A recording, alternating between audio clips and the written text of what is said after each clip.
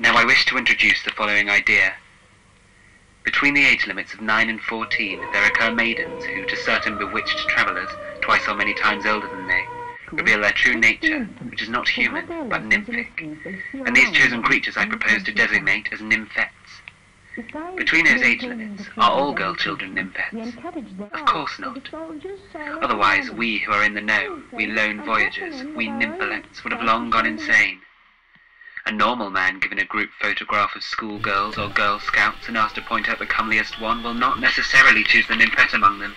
You have to be an artist and a madman, a creature of infinite melancholy, with a bubble of hot poison in your loins and a soup of voluptuous flame permanently aglow in your subtle spine, in order to discern at once by ineffable signs the slightly feline outline of a cheekbone, the slenderness of a downy limb, and other indices which despair and shame and tears of tenderness forbid me to tabulate, the deadly little demon among the wholesome children.